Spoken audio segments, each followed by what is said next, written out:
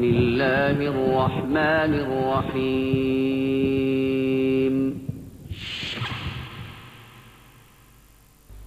ومن أحسن قولا ممن دعا إلى الله وعمل صالحا وقال إنني من المسلمين.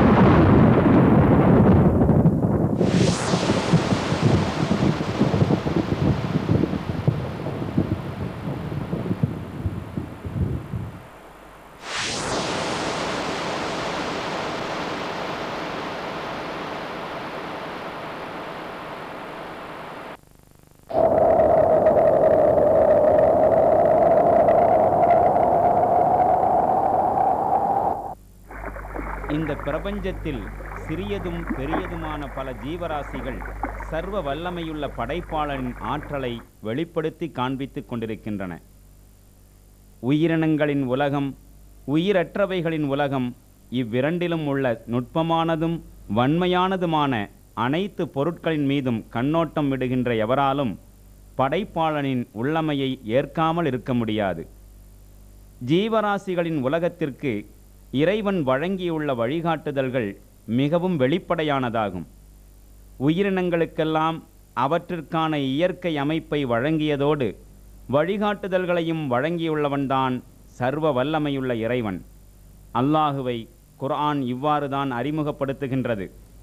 பல சகாப்தங்களுக்கு முன் உலகின் ஏக சக்கரவர்த்தியாக தன்னை கருதியிருந்த எகிப்தின் பரோவா எனும் பிறவுனின் முன்னிலையில் நின்று அகில உலக இரட்சகனான அல்லாஹுவின் செய்தியை எடுத்துரைத்த மூசா நபி அலைசலாம் அவர்கள் யார் உங்களின் இறைவன்? என்ற ஃபிராவுனின் கேள்விக்கு அளித்த பதிலை குரான் இவ்வாறு கூறி நிற்கிறது.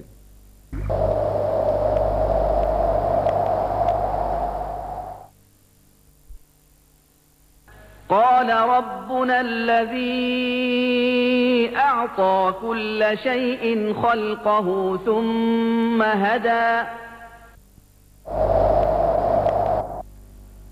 மூசா கூறினார் ஒவ்வொரு பொருளுக்கும் அதற்குரிய படைப்பமைப்பை கொடுத்து பின்னர் அவைகளுக்கு வழிகாட்டுதலையும் வழங்கியவனே எங்களின் இறைவன். உயிரினங்களுக்கு சர்வ ரட்சகனான இறைவன் வழங்கியுள்ள வழிகாட்டுதல்களைப் பற்றிய விவரங்களைத்தான் இந்த விவரணப்படத்தில் நாம் காணவிருக்கின்றோம்.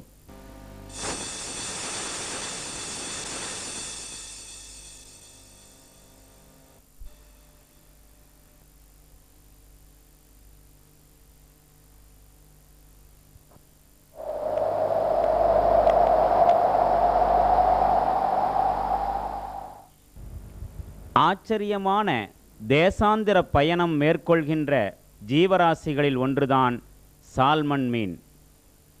வட அமெரிக்காவின் மேற்கு கரைகளில்தான் இவைகள் வசிக்கின்றன. இவைகள் மேற்கொள்ளும் பயணம் நதிகளையும் கடல்களையும் கடந்து செல்லும் சிரமமும் சாகசமும் கொண்ட பயணமாகும்.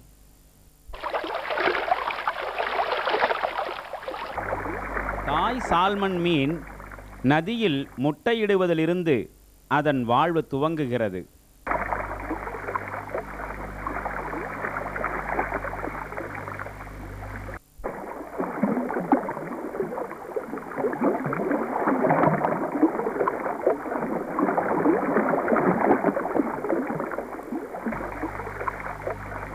நதியிலிருந்து சுயமாகவே ஆகாரம் தேடிக்கொள்ள அதிகபட்சமாக ஒரு வார காலத்திற்குள் அவைகள் பக்குவமடைந்து விடுகின்றன.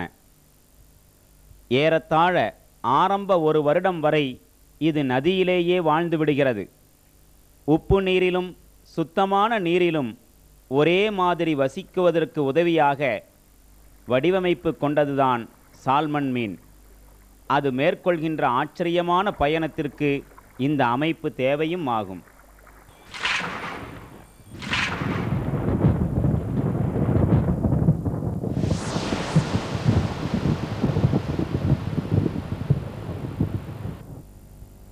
வசந்த காலத்தின் ஒரு காலை பொழுதில் ஆயிரக்கணக்கான சால்மன் மீன்கள் கடலுக்கு செல்லும் தங்களின் தேசாந்திர பயணத்தை தொடங்குகின்றன.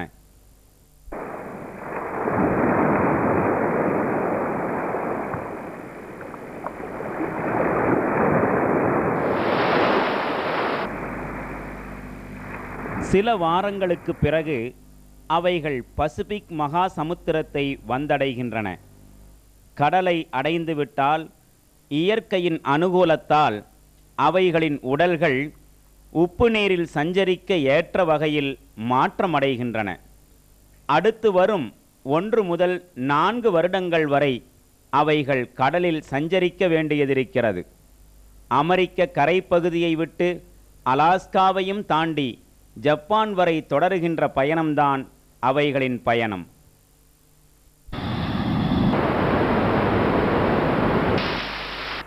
பயணத்தின் இறுதி கட்டத்தை அடைகின்ற போது பக்குவமடைந்து மிகவும் சிரமமான தனது அடுத்த பயணத்திற்கு தயாராகி விடுகின்றன.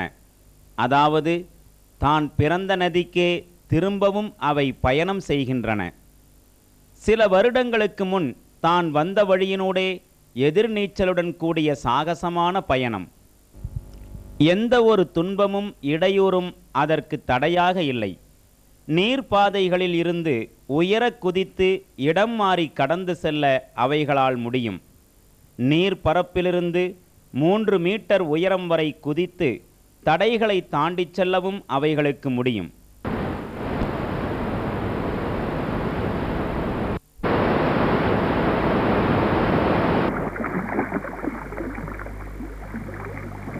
இவைகளின் பயணம் ஏறத்தாழ முப்பத்தி இரண்டாயிரம் கிலோமீட்டர் வரையான தூரம் கொண்டதாகும்.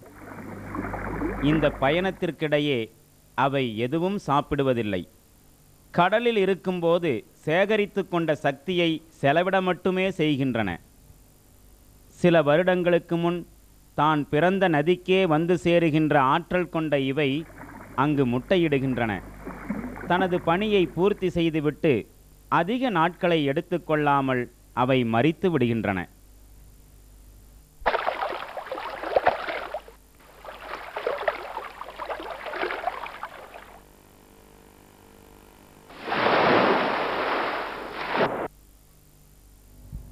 சால்மன் மீனுடைய இந்த தேசாந்திர பயணம் இயற்கையின் திகைப்பூட்டும் நிகழ்வுகளில் ஒன்றாகும்.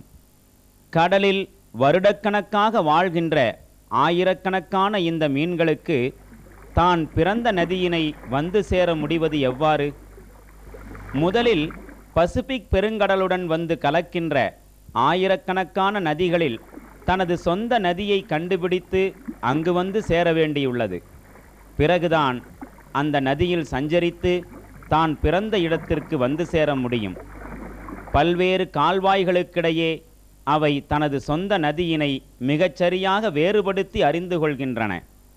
பிறகு வழி தவறாது பயணம் மேற்கொள்ளவும் செய்கின்றன. ஏராளமான கால்வாய்கள் அடுத்தடுத்து இடைவெளி விட்டு பிறகு நதியில் ஒன்று சேருகின்ற போதெல்லாம் மிகச்சரியாக அவைகளை இனம் கண்டு கொள்ளும் அதன் ஆற்றல் திகைப்பூட்டக்கூடியவைதான். இத்தகைய அசாத்தியமான காரியத்தை சால்மன் மீன் வெற்றிகரமாக நடத்துகிறது. எவ்வாறு அவை இக்காரியத்தில் வெற்றி பெறுகின்றன? இவைகளுக்கு இது சாத்தியமாவது எவ்வாறு? நீண்ட பயணத்திற்கு உதவும்படியான பிரத்யேகமான தன்மைகளுடன் தான் சால்மன் மீன் படைக்கப்பட்டிருக்கின்றன என்று ஆய்வுகளால் நிரூபிக்கப்பட்டிருக்கிறது. திசையையும் வழியையும் கண்டுகொள்ளும் திறன் அவைகளில் உள்ளடங்கியுள்ளது. விசாலமான மகா சமுத்திரத்தில் திசை தவறாமல் இருக்க அவைகளால் முடிகிறது. அடிப்படையான கேள்வி இதுதான். தான் பிறந்த நதிக்கு அது திரும்ப வருவது எவ்வாறு? இதற்கு இயற்கையான காம்பஸ் தவிர வேறு சில திறமைகளும் இவைகளுக்கு தேவைப்படுகின்றன. ஒவ்வொரு நதிக்கும் அதனதன் வாசனையுண்டு என்பதை நம்மால் உணரவோ நம்பவோ முடியாதெனினும் அதுதான் உண்மை. உலகின் எல்லா நதிகளுக்கும் ஆறுகளுக்கும் அததற்குரிய ரசாயன மாற்றங்கள் உண்டு. சால்மன் மீனை தவிர வேறு எதனாலும் கண்டுபிடிக்க முடியாத வகையில் உள்ள அதிநுட்பமான தன்மைகள்தான் நதிகளுக்கிடையில் உள்ள வித்தியாசங்கள். இந்த வித்தியாசங்களை கண்டுதான் சால்மன் மீன் தேசாந்திர பயணம் மேற்கொள்கின்றது என்று ஆய்வுகள் உறுதிப்படுத்தியுள்ளன.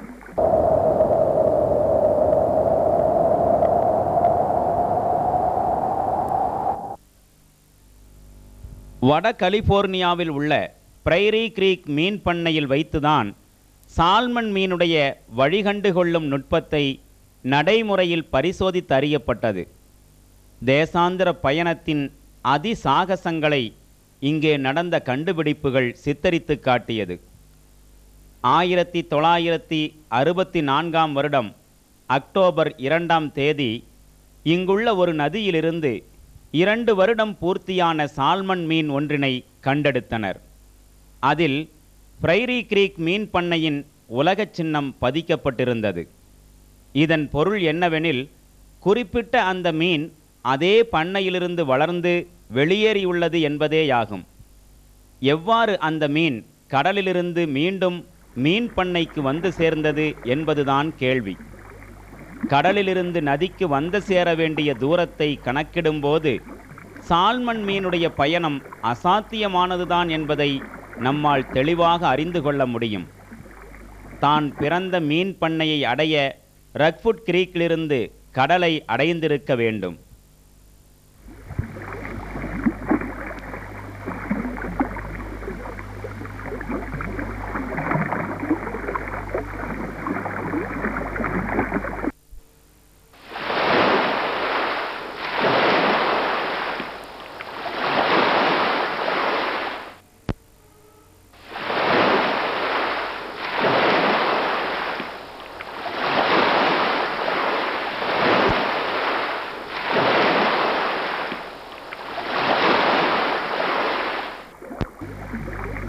பிறகு குறிப்பிட்ட சால்மன் மீன் ஐந்து கிலோமீட்டர் வரை நீரோட்டத்திற்கு எதிராக நீந்தி நதியின் ஆரம்ப முனைக்கு வந்து சேர வேண்டும்.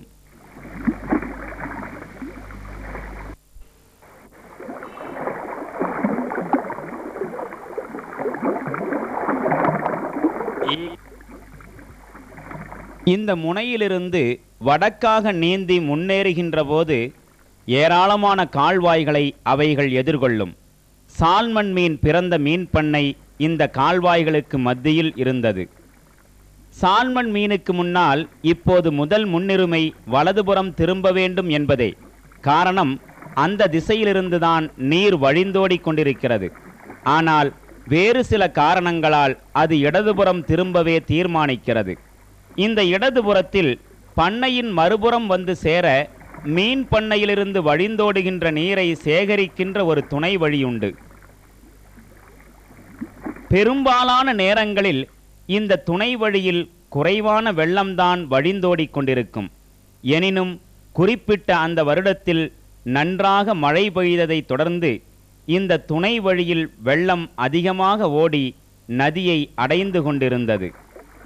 பலவீனமான இந்த நீர் பிரவாகம் போதும் சால்மன் மீன் அதன் வாசனையை கண்டுகொள்ள அவ்வழியே முன்னேறி அதன் லட்சிய இடத்தை வேகமாக அடைந்து கொள்ள அதற்கு எவ்விதமான சிரமமும் ஏற்படவில்லை.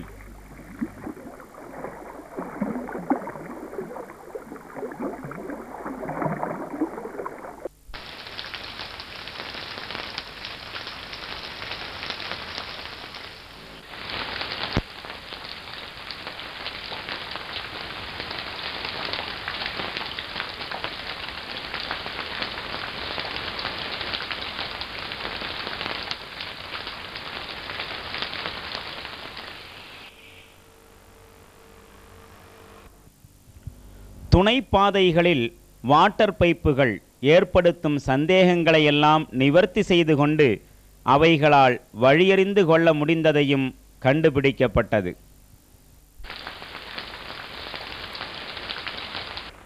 எந்த தடைகளையும் தவிர்த்து கொண்டு மிகச் சரியாக வழியை அறிந்து கொள்ளக்கூடிய அவைகளின் ஆற்றல்களை ஏராளமான ஆய்வுகள் தெளிவாக தெரிவித்தன.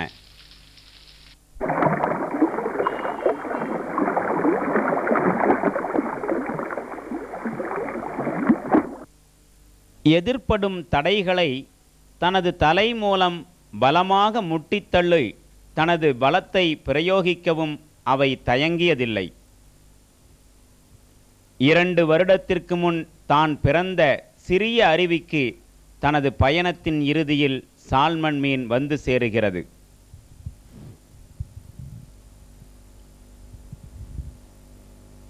அடையாளமிடப்பட்ட எழுபதுக்கும் மேற்பட்ட சால்மன் மீன்களை மீன் பண்ணை ஆய்வாளர்களால் கண்டுகொள்ள முடிந்தது.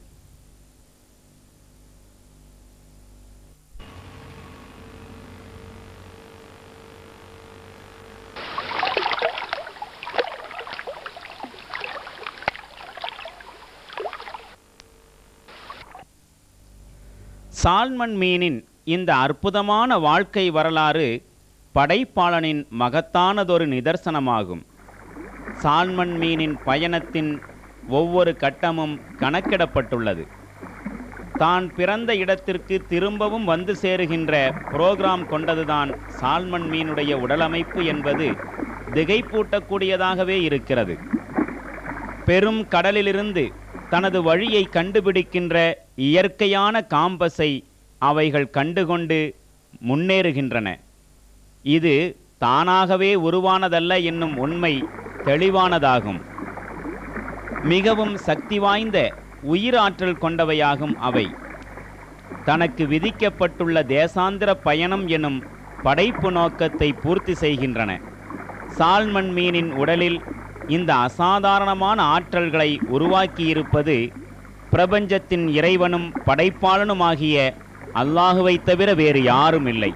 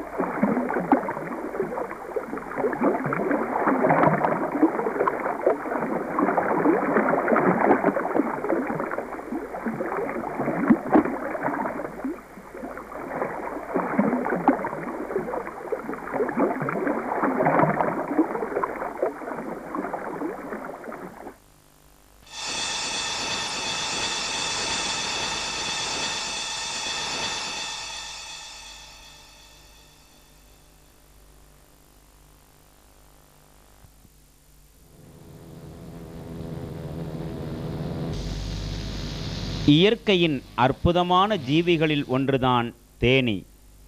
அவை உருவாக்குகின்ற தேன் மிகவும் சுவையானதோர் உணவுப் பொருளாகவும் மருந்தாகவும் இருக்கின்றது.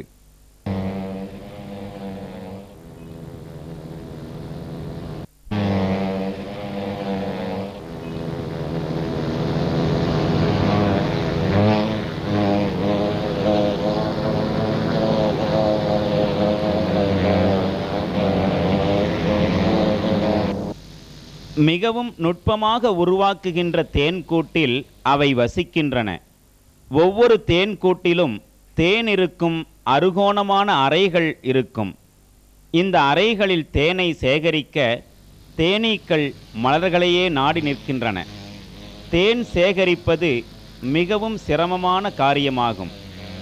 நாற்பது மில்லியன் அதாவது நான்கு கோடி பூக்களை சந்தித்தால் அரை கிலோ தேனை அவை சேகரிக்கும் என்றுதான் மிகவும் புதிய விஞ்ஞான ஆய்வுகள் தெரிவிக்கின்றன.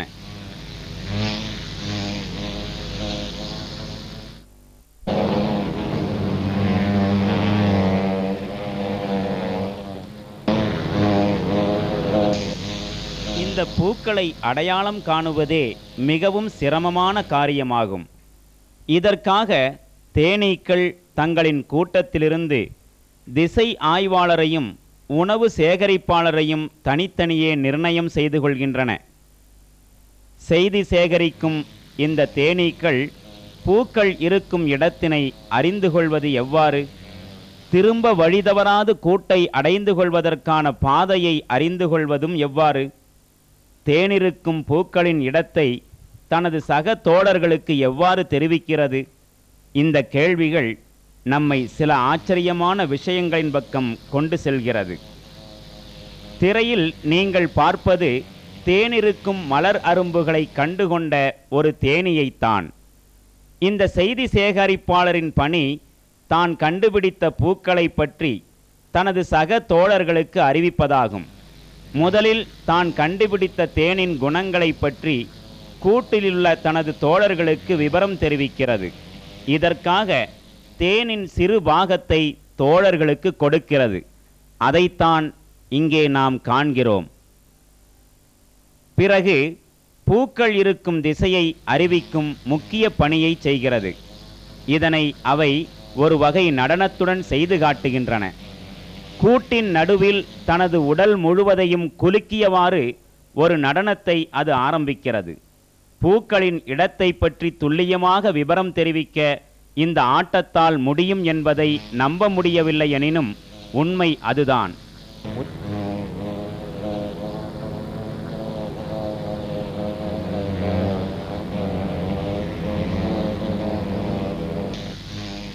உதாரணமாக கூட்டின் மேல்பாகத்தை இலக்காக கொண்டு நேர்கோட்டில் ஆட்டம் என்றால் உணவின் இடம் இருப்பது சூரியனுக்கு நேரான திசையிலாகும்.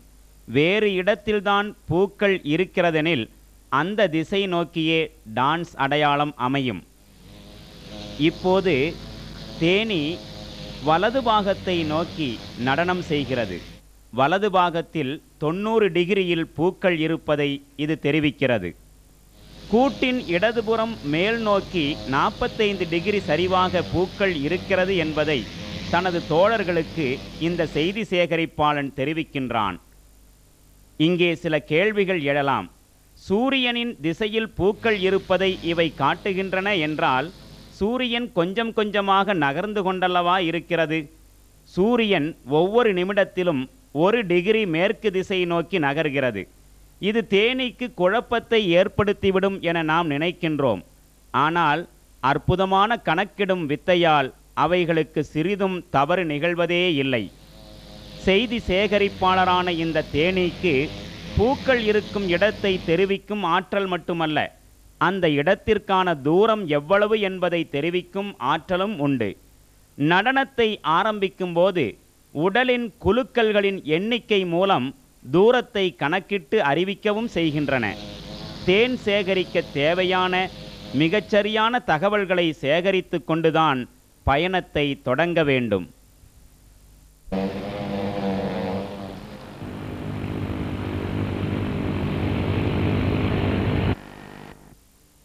கலிபோர்னியாவில் நடைபெற்ற ஒரு சோதனையின் போது சர்க்கரை கரைசல் நீர் கொண்ட மூன்று பாத்திரங்களை வெவ்வேறு இடங்களில் வைக்கப்பட்டது. சிறிது நேரத்தில் செய்தி சேகரிக்கும் தேனி அதனை கண்டுகொண்டது. முதல் பாத்திரத்தை அடைந்த தேனியை ஒரு புள்ளி வைத்து அடையாளமிட்டனர். இரண்டாவது பாத்திரத்தை கண்டுகொண்ட தேனீ மீது ஒரு கோடு போட்டும் மூன்றாவது பாத்திரத்தை அடைந்த தேனீ மீது கூட்டல் குறிகொண்டும் அடையாளமிட்டனர். செய்தி சேகரிப்பாளர்களான இந்த அடையாளமிடப்பட்ட தேனீக்கள் சில நிமிடங்களுக்குள் மற்ற தோழர்களிடம் சென்று இதை தெரிவித்தன. செய்தி சேகரிக்கும் இந்த அடையாளமிடப்பட்ட தேனீக்கள் நுட்பமாக தனது கூட்டாளிகளிடம் செய்தியை சொல்லும்போது சொல்லப்பட்ட தேனீக்களின் மீதும் சில நிமிடங்களுக்குள் அதனதன் அடையாளத்தை போட்டனர். நிமிடங்களுக்குள்ளாக புள்ளி கொண்டு அடையாளமிடப்பட்டவை மிகச்சரியாக முதல் பாத்திரத்திலும் கோடு போட்டு அடையாளமிடப்பட்டவை இரண்டாவது பாத்திரத்திலும் கூட்டல் மார்க் கொண்டு அடையாளமிடப்பட்டவை மூன்றாவது பாத்திரத்திலுமாக அந்தந்த அடையாளங்கள் கொண்டவை மாத்திரமே வந்து சேர்ந்தன என்பதை கண்டுபிடிக்கப்பட்டது. செய்தி சேகரிப்பாளர்களின் செய்தியை புரிந்து கொண்டுதான் மற்ற தேனீக்கள் தேனை சேகரிக்கச் செல்கின்றன எனும் மகத்தான உண்மையை இது மிக தெளிவாக காட்டியது.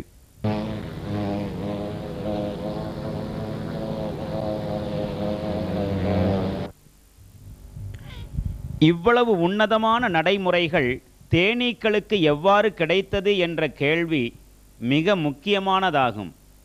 சிந்தனையோ புத்தி கூர்மையோ இல்லாத இந்த சிறிய ஜீவி இவ்வாறு நடந்து கொள்வது எப்படி? உணவுகளின் அரும்புகளை கண்டுபிடித்து கூட்டாளிகளுக்கு விவரம் தெரிவிக்க முடிவது எவ்வாறு? நடனத்தின் வழியாக நுட்பமாக கருத்தை வெளிப்படுத்துவது எவ்வாறு? நுட்பமான சலனங்கள் விரைப்புகளையும் கொண்டு கருத்து பரிமாற்றம் நடத்தி கொள்ள எவ்வாறு முடிந்தது? இந்த எல்லா கேள்விகளுக்கும் பதில் சொல்ல இயற்கைவாதிகளால் முடியவே முடியாது. படைப்பாளனின் உண்மையினைத்தான் ஒவ்வொரு சிறு ஜீவியும் நமக்கு தெரிவிக்கின்றன.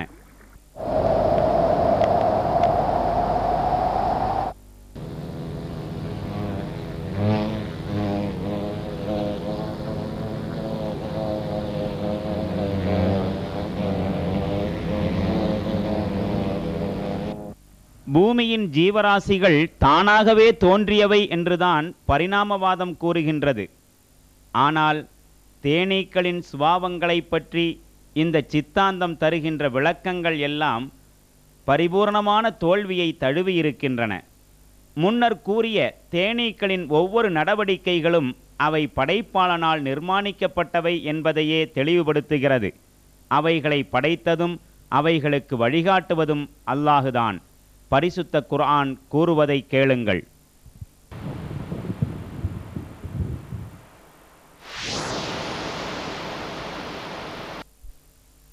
وأوحى ربك إلى النحل أن اتخذي من الجبال بيوتا ومن الشجر ومما يعرشون ثم كلي من كل الثمرات فاسلكي سبل ربك ذللا يخرج من بطونها شراب مختلف ألوانه فيه شفاء للناس إن في ذلك لآية لقوم يتفكرون மேலும் பாருங்கள் உம் இறைவன் தேனீக்கு இவ்வாறு வகி அறிவித்தான் மலைகளிலும் மரங்களிலும் பந்தல்களில் படரும் கொடிகளிலும் நீ கூடுகளை கட்டிக்கொள் மேலும் பலதரப்பட்ட பழங்களிலிருந்து சாற்றை உறிஞ்சிக்கொள் உன் இறைவன் சீராக அமைத்து தந்த வழியில் சென்று கொண்டிரு. அந்த தேனீக்களின் உள்ளே இருந்து பலவிதமான நிறமுடைய ஒரு வானம் வெளிப்படுகிறது. அதில் மக்களுக்கு நிவாரணம் இருக்கிறது. திண்ணமாக சிந்திக்கக்கூடிய மக்களுக்கு இதில் ஒரு சான்று உண்டு.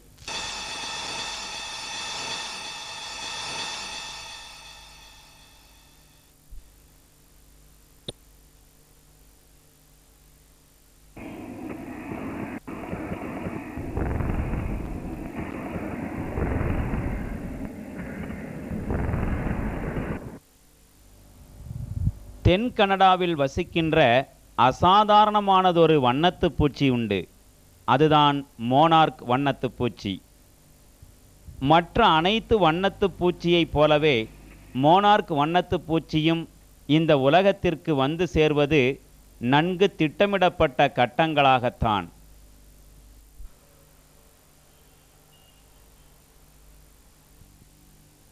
முதல் கட்டமாக தாய் வண்ணத்துப் பூச்சி ஒரு குறிப்பிட்ட இடத்தில் முட்டையிடுகிறது.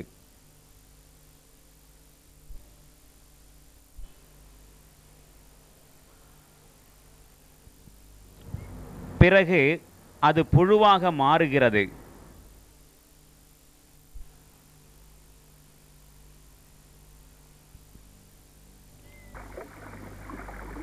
பிறகு அது சுயமாகவே ஆகாரம் தயாரித்து கொண்டு அதிலேயே இருந்து கொள்கிறது.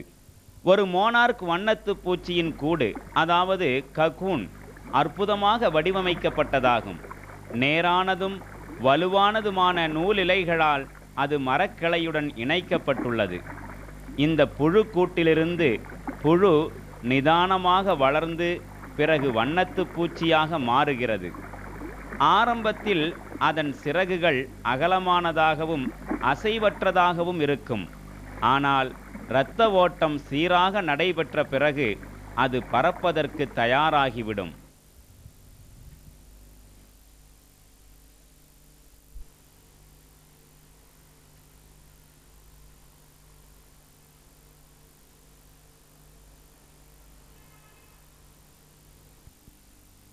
மற்ற வண்ணத்து பூச்சிகளிலிருந்து மோனார்க் வண்ணத்து பூச்சியை பிரித்து காட்டும் சில அம்சங்கள் உண்டு.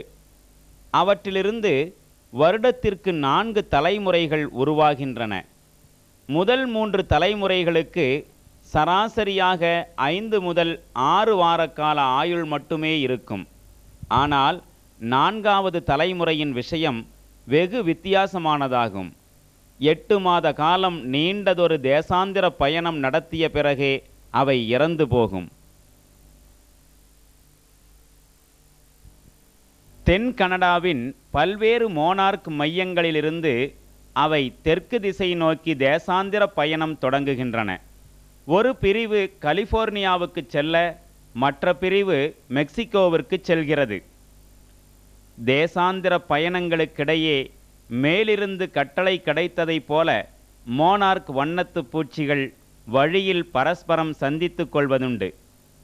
ஒரே ஒரு மையத்திலிருந்து மோனார்க் வண்ணத்து பூச்சியின் தேசாந்திர பயணம் சரியாக திட்டமிடப்படுகிறது. அவைகள் பயணத்தை தொடங்குவது ஏதாவது ஒரு நாளில் அல்ல. இரவின் கால அளவும் பகலின் கால அளவும் சமமாக இருக்கும் ஈக்வினாக்ஸ் காலத்திலேதான் அவை பயணம் தொடங்குகின்றன. இரண்டு மாத காலம் பறந்து தெற்கு பிரதேசத்தின் வெப்பமான காடுகளுக்கு அவை வந்து சேருகின்றன. மில்லியன் கணக்கில் மோனார்க்குகள் மரங்களில் ஒரு கூட்டை போல மூடி போர்த்து கொண்டு டிசம்பர் முதல் மார்ச் வரையான நான்கு மாதங்கள் உணவுகள் எதுவுமின்றி கழிக்கின்றன. தனது சரீரத்தில் சேமித்து வைத்துள்ள கொழுப்பையும் தண்ணீரையும் மட்டுமே உட்கொண்டு அவை ஜீவிக்கின்றன. நான்கு மாதங்களுக்கு பிறகு வசந்த காலத்தில் பூக்கள் மலரும்போது மோனார்க் வண்ணத்து பூச்சிகள் தங்களின் தேன் உறிஞ்சுதல்களை ஆரம்பிக்கின்றன. இப்போது வட அமெரிக்காவுக்கு திரும்பிச் செல்வதற்கு தேவையான சக்தியை அவை சேகரித்து முடித்து விடுகின்றன. மார்ச் மாத இறுதியில் பயணம் தொடங்கும் முன் அவைகள் இணை சேர்ந்து இனப்பெருக்கத்தில் ஈடுபடுகின்றன. இரவும் பகலும் சமமான அந்த வசந்த காலத்தில் மோனார்க் வண்ணத்து பூச்சிகளின் கூட்டங்கள் மறுபயணம் தொடங்குகின்றன. பயணத்தின் இறுதியில் அவைகள் கனடாவை அடைந்து அதிக தாமதம் செய்யாமல் மறித்து விடுகின்றன.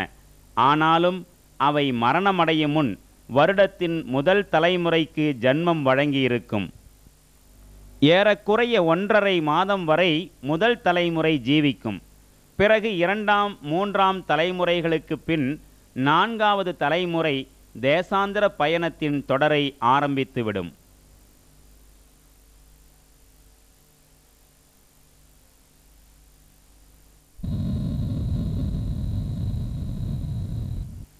இந்த நான்காவது தலைமுறை மற்ற மூன்று தலைமுறைகளை விட ஆறு மாதங்கள் அதிகமாக வாழ்வதில்தான் இந்த இனம் முன்னேறி கொண்டிருக்கிறது.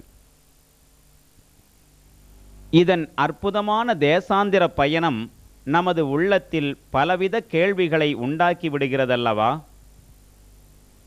ஒவ்வொரு நான்காவது தலைமுறைக்கு மட்டும் மற்ற மூன்று தலைமுறையை விட கூடுதலாக ஆறு மாத வாழ்வு கிடைப்பது எவ்வாறு?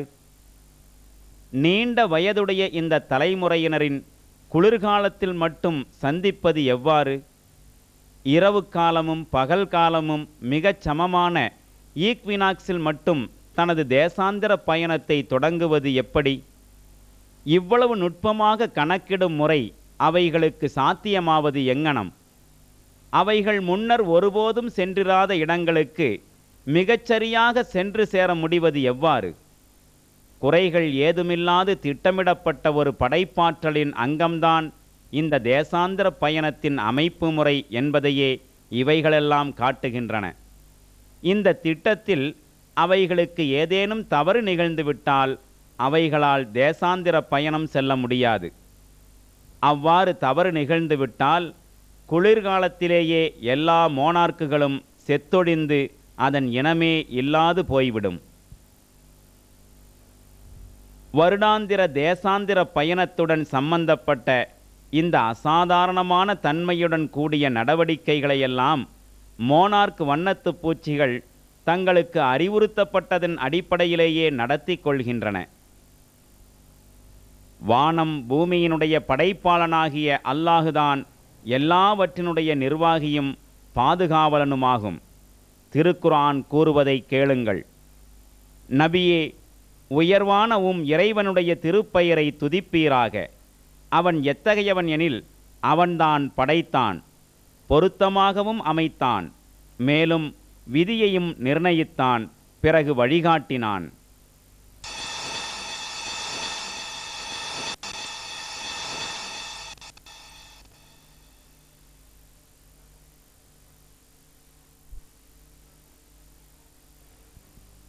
வானில் பறப்பதற்காக மனிதன் ஏராளமான பரிசோதனைகளை நடத்தியிருக்கின்றான்.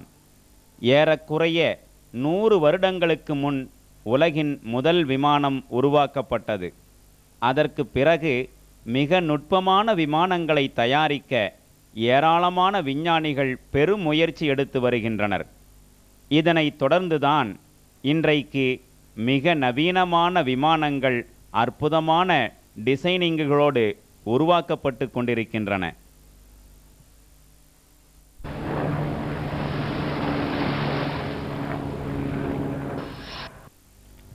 பறப்பது ஒரு மகத்தான ஆற்றல்தான்.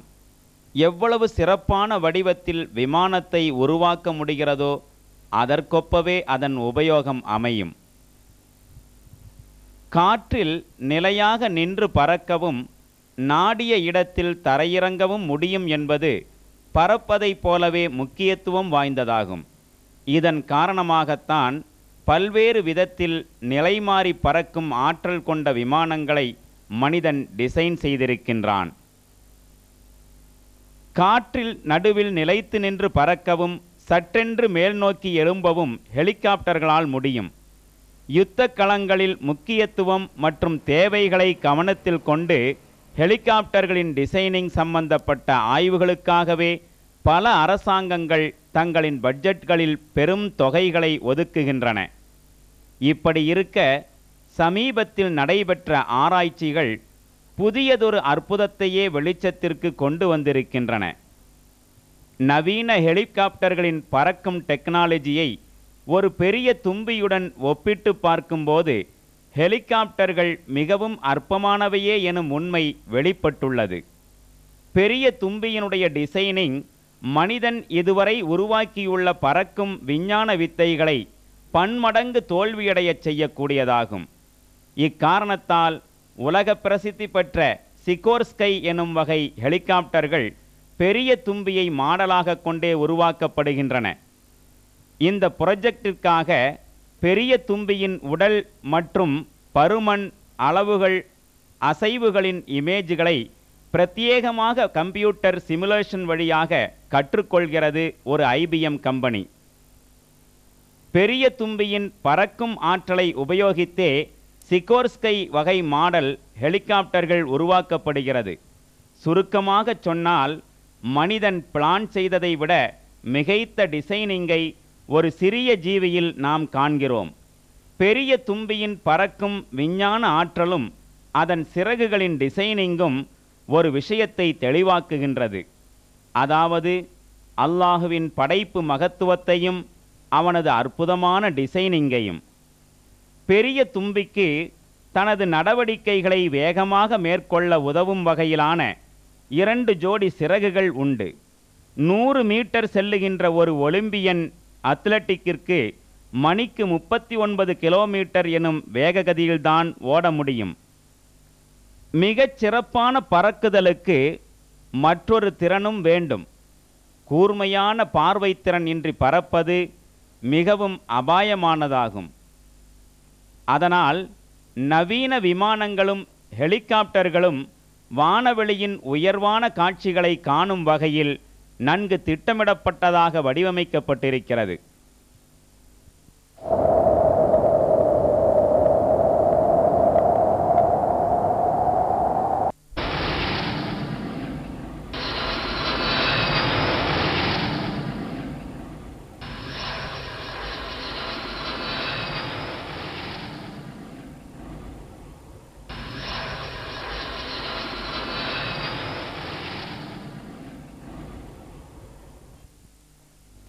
பெரிய தும்பிக்கும் உன்னதமானதொரு பார்வை திறனுண்டு. அவைகளுக்கு முப்பதாயிரம் நுட்பமான கண்கள் இருக்கின்றன. ஒவ்வொரு கண்ணும் பல்வேறு பாயிண்டுகளை இலக்காக்கிக் கொள்கின்றன. இந்த கண்களால் காணும் ஒவ்வொரு விவரமும் பெரிய தும்பியின் மூளைக்கு சென்று கம்ப்யூட்டர்களுக்கு இணையான ப்ராசஸிங்கை நடத்துகின்றன. பெரிய தும்பிக்கு இந்த அமைப்பிலான மிக கூர்மையான பார்வைத்திறன் இருக்கிறது. சௌகரியம் போல பறந்து செல்வதற்கான ஆற்றலுக்காக ஹெலிகாப்டர்களை விட மிகைத்த வடிவமைப்பு கொண்டதுதான் பெரிய தும்பியுடைய உடலமைப்பாகும். உதாரணமாக எதிர்பாராத விதமாக எதிர் திசையிலிருந்து வருகின்ற மற்றொரு பொருள் மிகவும் நெருக்கமாக வருகின்ற போதும் கூட தனது வழியை உடனே மாற்றிக்கொள்ள அவைகளால் முடியும். பெரிய தும்பி இரண்டு சவால்களை எதிர்கொள்ள வேண்டியதிருக்கிறது. ஒன்று பலமாக வீசியடிக்கும் காற்று. மற்றொன்று வேட்டையாட வரும் பறவைகள். மிக தந்திரமாக அவைகளிடமிருந்து தப்பித்துக் கொள்வதில் இந்த சிறிய ஜீவிகள் வெற்றி பெறுகின்றன. பைலட்கள் எதிர்கொள்கின்ற ஒரு முக்கியமான பிரச்சனை என்னவெனில் தேவையான போது இவ்வாறு சௌகரியம் போல் ஒளிந்து மறைவதாகும். ஒருமுறை இவ்வாறு ஒளிந்து மாறியதற்கு பிறகு விமானத்திற்கும் பறக்கும் ஸ்தானத்திற்கும் இடையிலுள்ள பொசிஷனின் வித்தியாசத்தை அறிந்து கொள்வது சிரமமாகும். ஒரு சாகசத்திற்கு பிறகு விமானிக்கு விமானத்தின் மேல் பகுதி எது கீழ்ப்பகுதி எது என்பதை கிரகித்து கொள்ள முடியாமல் விபத்து நேர்ந்துவிடும். இதனை எதிர்கொள்ள விஞ்ஞான நிபுணர்கள் கண்டுபிடித்த கருவிதான் பைரோஸ்கோப். விண்வெளியின் யதார்த்த நிலையை சுட்டிக்காட்டுகின்ற ஒரு கோடு அதாவது படுக்கை வசமான ஒரு கோடு இதில் உண்டு. விண்வெளியின் சரியான நிலையை இந்த படுக்கை வசமான கோட்டுடன் ஒப்பிட்டு பார்த்து விமானத்தின் ஒவ்வொரு நிமிடத்தின் பொசிஷனையும் இவ்வாறு அறிந்து கொள்ள முடிகிறது. விஞ்ஞான நிபுணர்கள் சமீபத்தில் கண்டுபிடித்த இந்த கருவியின் அமைப்பை லட்சக்கணக்கான வருடங்களுக்கு முன்னிருந்தே பெரிய தும்பிகள் உபயோகித்து வருகின்றன. பெரிய தும்பியின் கண்களுக்கு மேலே மிகச் சரியானதொரு படுக்கை கோடு அமைக்கப்பட்டுள்ளது. எந்த கோணத்தில் பறந்தாலும் அதன் தலையை படுக்கை கோட்டிற்கு சமமாக வைத்துக்கொள்ள அவைகளால் முடியும். பறக்கும்போது தும்பியினுடைய உடல் வித்தியாசமாக திரும்புகின்ற போது உடலுக்கும் தலைக்கும் இடையிலுள்ள ரோமங்கள் தளர்வாக நிற்கவும் செய்யும். இந்த ரோமங்களின் அடிபாகத்தில் உள்ள உணர்வு நாளங்கள் பெரிய தும்பியினுடைய பறக்கும் இயக்கங்களுக்கு அவ்விடத்தின் காற்று அழுத்தத்தை பற்றிய அறிவை தருகிறது. இதனால் அவைகளின் பறக்கும் இயக்கங்களுக்கு சிறகடிப்பின் எண்ணிக்கையையும் வேகத்தையும் சுயமாகவே ஒழுங்குபடுத்திக் கொள்ள சாத்தியமாகிறது. மிகவும் சிரமம் நிறைந்த ஒளிந்து மாறி பறக்கும் தருணத்தில் கூட பெரிய தும்பிக்கு திசையோ நிலைப்பாடோ தவறிப்போவதே இல்லை. இந்த அமைப்பு நிச்சயமாக ஒரு அற்புதமான என்ஜினியரிங்கின் செயல் வடிவமேயாகும் இங்கே அறிவுள்ளவர்கள் சிந்தித்து பார்க்க வேண்டும்.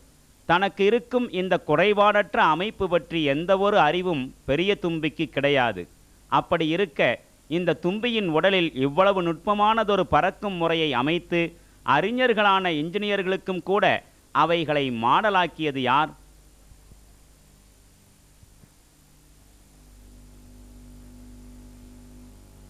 பரிணாமவாதம் என்பது உயிர்களின் எல்லா உண்மைகளையும் இயற்கை மூலம் விளக்க முயற்சி செய்யும் ஒரு சித்தாந்தமாகும். ஆனால் முன்னர் கேட்கப்பட்ட கேள்விகளுக்கு திருப்திகரமான பதில்களை தர இந்த சித்தாந்தத்தினால் முடியவில்லை. பெரிய தும்பியின் உடலில் இருக்கும் உன்னதமான நுட்பங்கள் இயற்கையாகவே வரிசைப்படி பரிணாமமடைந்து உருவானவை அல்ல. ஏனெனில் இந்த ஜீவியின் வாழ்வில் இந்த அனைத்து நுட்பங்களும் முன்னமேயே பரிபூர்ணமாக நடைபெற்றிருந்தாக வேண்டும். உலகின் முதல் பெரிய தும்பியும் இந்த அத்துணை அற்புத செயல்பாட்டையும் முழுமையாக கொண்டு வாழ்ந்திருப்பதற்கே சாத்தியமுண்டு. இவைகளின் படிவ அடையாளங்கள் இவ்விஷயத்தை உறுதியாகவே குறிப்பிட்டு சொல்கின்றன.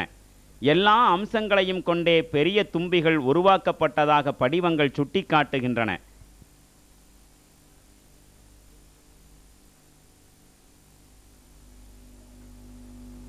பெரிய தும்பியினுடைய மிகவும் பழமையான படிவம் முன்னூற்றி இருபது மில்லியன் அதாவது முப்பத்தி ரெண்டு கோடி வருடங்களுக்கு முந்தையதாகும்.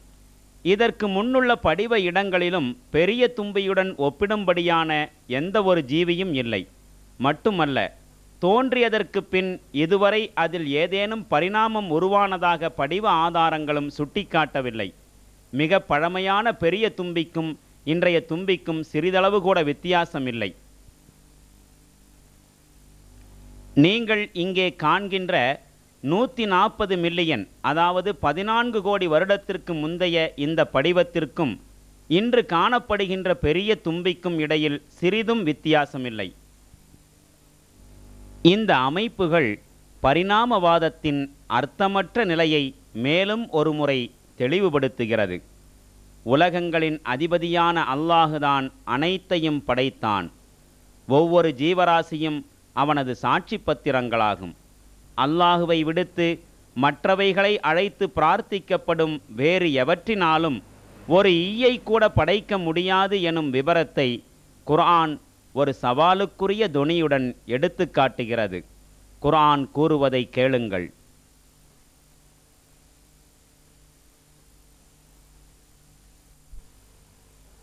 يا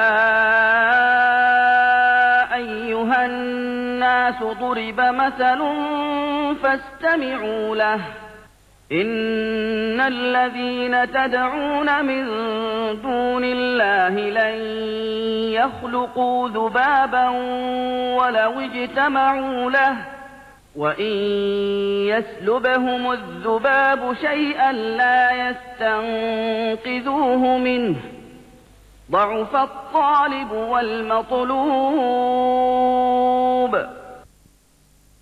மனிதர்களே ஓர் ஓமை கூறப்படுகின்றது. அதனை மிக கவனத்துடன் கேளுங்கள்.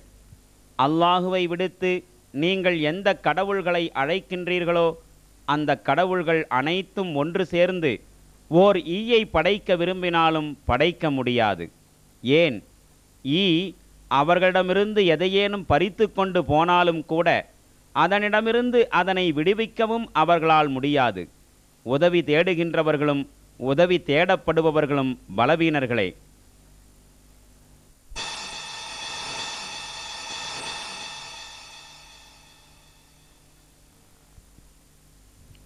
ஜீவராசிகளின் அற்புதங்களில் ஒரு சிலவற்றை மட்டுமே நாம் இங்கே பரிசோதித்து பார்த்துள்ளோம். இயற்கையின் ஒவ்வொரு ஜீவியும் ஒவ்வொரு படைப்புகளும் தெய்வீக சக்திக்கும் தெய்வம் உண்டு என்பதற்குமான ஆதாரங்களேயாகும். ஜீவராசிகளைப் பற்றி அறிந்து கொள்வதும் அவைகள் படைக்கப்பட்டிருப்பதன் நோக்கத்தை புரிந்து கொள்வதும் முக்கிய தேவையாகும் படைப்புகளைப் பற்றி அறிந்து கொள்ளுமாறும் அவைகளிலிருந்து படிப்பினை பெற்றுக்கொள்ளுமாறும் பரிசுத்த குர்ஆன் இடையிடையே வலியுறுத்துவதை நாம் காண முடியும்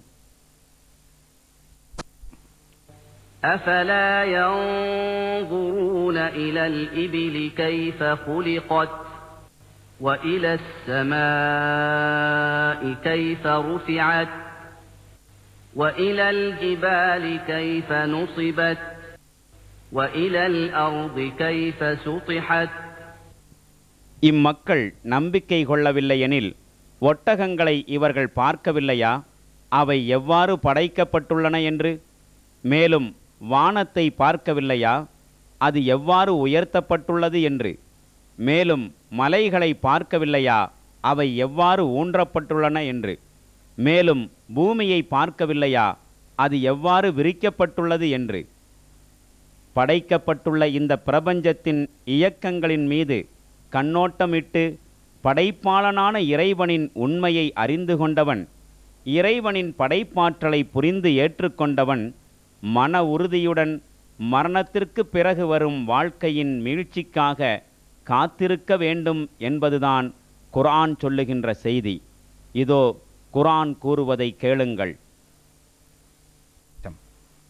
قل سيروا في الأرض فانظروا كيف بدأ الخلق ثم الله ينشئ النشأة الآخرة إن الله على كل شيء قدير அல்லாஹ் எவ்வாறு முதன்முறையாக படைக்கின்றான் என்பதையும் பிறகு எவ்வாறு அதை மீண்டும் படைக்கின்றான் என்பதையும் அவர்கள் என்றுமே கவனித்ததில்லையா மீண்டும் படைப்பது எனும் இந்த பணி திண்ணமாக அல்லாஹுவுக்கு எளிதானதாகும் நபியே இவர்களிடம் கூறும் பூமியில் சுற்றித்திருந்து பாருங்கள் எவ்வாறு அவன் முதன்முறையாக படைத்துள்ளான் என்று. பின்னர் அல்லாஹ் இன்னொரு தடவையும் வாழ்வை நல்குவான். திண்ணமாக அல்லாஹ் ஒவ்வொரு பொருளின் மீதும் பேராற்றல் உள்ளவன். படைக்கப்பட்ட பிரபஞ்சத்திற்கான தெய்வீக வழிகாட்டுதல்களைப் பற்றியே நாம் இதுவரை தெரிந்து கொண்டோம். பூமியிலே சுதந்திரமாக செயல்படுவதற்குரிய வாய்ப்பு கொடுக்கப்பட்டுள்ளவன்தான் மனிதன். நன்மை செய்து நல்லவனாகவும் தீமை புரிந்து தீயவனாகவும் அவனால் முடியும். இந்த மனிதனுக்கு சுதந்திரம் வழங்கப்பட்டுள்ள துறைகளில் தேவையான வழிகாட்டுதல்களை வழங்கும் ஆற்றலும் தகுதியும் ஜீவராசிகளுக்கு சரியான வழிகாட்டுதல்களை வழங்கியுள்ள சர்வசக்தியுடைய அல்லாஹுக்கு மட்டுமே உரியதாகும். சர்வசக்தியுடைய அல்லாஹு மனிதர்களுக்கு வழங்கியுள்ள வழிகாட்டுதல்களாகும் இவைகள்.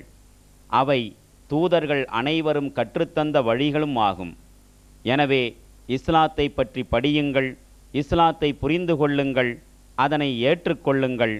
இஸ்லாத்தை பற்றி மேலும் தெரிந்து கொள்ள எங்களோடு தொடர்பு கொள்ளுங்கள்.